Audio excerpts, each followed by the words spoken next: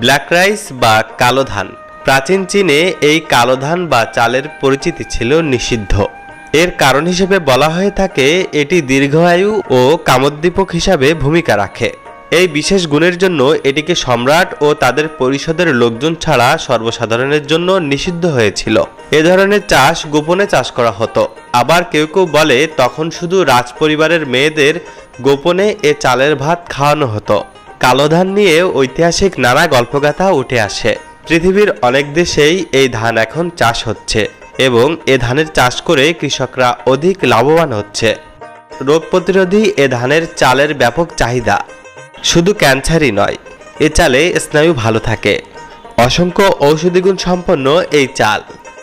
ফেনীতে এবারই প্রথমবারের মতো ব্ল্যাক রাইস বা কালো চালের ধান চাষ করেছেন চাকরিজীবী সাকিব জাহান।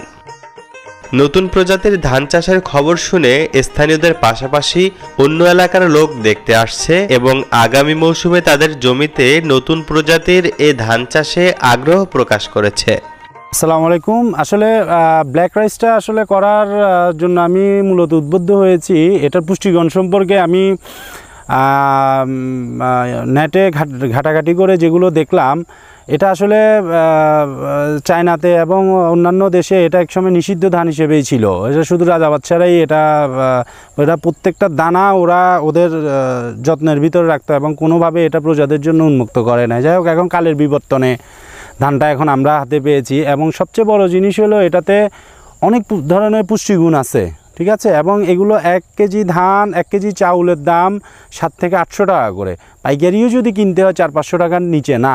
তো এই ধানটার এই ধানের চাউলের ভাত যদি খায় আমি যতটুকু নেটে ঘাটাঘাটি করে দেখেছি, এটাতে আপনার যে পরিমাণ পুষ্টি অ্যান্টিঅক্সিডেন্ট তারপরে আপনার ক্যান্সার প্রতিরোধক আছে এবং আরও বেশ কিছু আপনার উপাদান আছে যেটা এই ধানের ব্ল্যাক রাইসের ভিতরে আছে। এটার জন্যই আসলে বেসিক্যালি এই ধানটা মানে করার জন্য আমি উদ্বুদ্ধ হয়েছি। আমি ভিয়েতনাম এবং আপনার ইন্দোনেশিয়া দুইটা জাতি করেছি এবং সামনে ফিলিপিন এবং চায়না। এই দুইটা জাত আমি বীজ সংগ্রহ করেছি এবং ওই দুটো জাতও করব। এবং মাসাল্লাহ ধানও মানে আমাদের এইসব মানে গতানুগণিক ধানের চেয়ে এবং ফলনও ভালো। ঠিক আছে? আপনি এই যে দেখতেই পারতেছেন মাশাল্লাহ ধান কি পরিমাণ ধান আসছে। ঠিক আছে? প্রত্যেকটা শীষ আপনার অনেক সুন্দর আসছে। এবং এই ধানটা আসলে লাভজনক একটা ধান। দেশি ধানের মতোই একই প্রক্রিয়ায় এ ধান চাষ করা হয়। দুই তিনটা ধানই আমি চাষ করেছি, সবগুলোই নতুন ধান এবং সবগুলোই আমি বিভিন্নভাবে বিভিন্ন জায়গা থেকে কালেক্ট করেছি। বাসমতি করেছি, তারপরে আপনার হাইব্রিড চিনি গুঁড়া করেছি তারপরে আপনার ফাতেমা ধান করেছি ব্ল্যাক রাইস করেছি। আমি খুব কোনো ডিফারেন্স দেখি নাই এবং সাধারণ যে ধান যেভাবে চাষ করে, ঠিক ওভাবে চাষ করেছি এবং আলহামদুলিল্লাহ আমি খুব রেজাল্ট ভালো পেয়েছি। শুধু আমি একটা কথাই বলব, কীটনাশক সার প্রয়োগগুলো এগুলো টাইমলি করতে হবে। জ্বালা কাঠির জমিতে রোপণের পনেরো থেকে বিশ দিনের ভিতরে আপনাকে ইউরিয়া সার এবং সাথে কীটনাশকটা মিক্স করে মারতে হবে। এরপরে চল্লিশ পঁয়তাল্লিশ দিনের সময় আপনার আরেকটা খাবার দিতে হবে এবং পাশাপাশি ছত্রাকনাশকটা ইউজ করতে হবে। খুব কঠিন কিছু না এটা।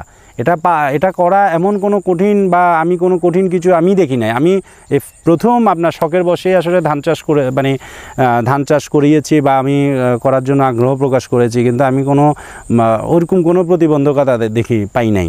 ঠিক আছে? আর আরেকটা জিনিস হলো যে আপনারা সবসময় খেয়াল রাখবেন, ফাতেমা ধান বলেন ব্ল্যাক রাইস বলেন এবং বাসমতি চিনি গুঁড়ো এগুলোর মানে তিন চারটা করে কুশি দেওয়ার জন্য এবং বিশ থেকে পঁচিশ দিনের বা সর্বোচ্চ এক মাসের মাথায় আপনি ধানটা বীজতলা থেকে নিয়ে জমিতে রোপণ করবেন।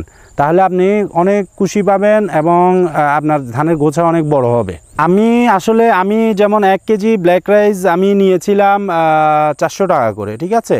এটা তো আসলে ওই হিসেবে চিন্তা করলে আপনার মন পড়বে হলো আপনার প্রায় ষোলো হাজার টাকা, ঠিক আছে?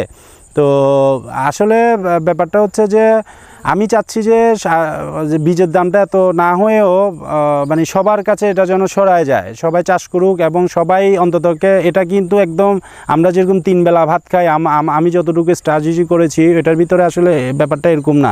এই ধানটা আপনি খাবেন হচ্ছে ধরেন প্রতিদিনই খাবেন, কিন্তু ধরেন আপনি এক কেজি সাধারণ চাউল খাচ্ছেন, পাশে আপনি এক মুঠ ব্ল্যাক রাইসে ব্ল্যাক রাইস চাউলটা দিয়ে দিবেন। প্রতিবেলায় প্রতি মানে প্রতিদিনই আপনি এক মুঠ করে করে আপনার সাধারণ ধানের ভিতরে দিয়ে চাউলের ভিতর দিয়ে দেন, ভাতের ভিতর দিয়ে দিবেন।